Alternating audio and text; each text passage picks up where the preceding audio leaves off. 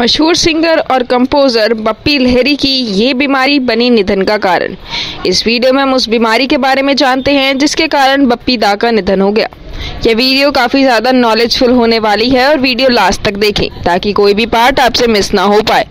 अगर आप चैनल पर नए हैं तो इस वीडियो को लाइक करके चैनल को ज़रूर सब्सक्राइब कर लीजिए, ताकि ऐसी ही लेटेस्ट वीडियो आपको सबसे पहले मिलती रहे।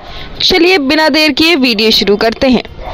अपने डिस्को बीच के लिए जाने जाने वाले संगीतकार लहरी का कल रात 69 वर्ष की आयु में मुंबई के एक अस्पताल में निधन हो गया।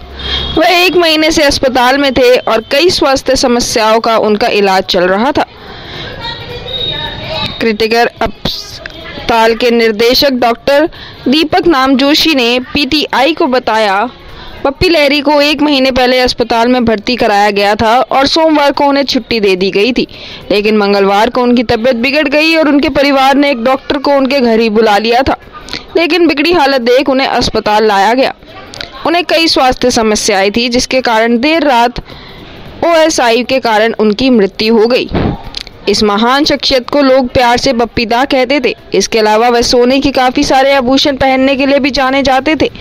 बप्पी लहरी के बारे में बेहद कम लोग ही जानते होंगे कि उनका असली नाम आलोकेश था।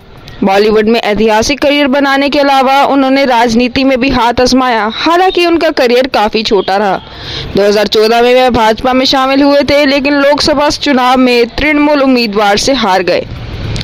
बता दें, बप्पी लहरी का आखिरी बॉलीवुड गाना 2020 की फ़िल्म बागी थ्री के लिए भंकस था।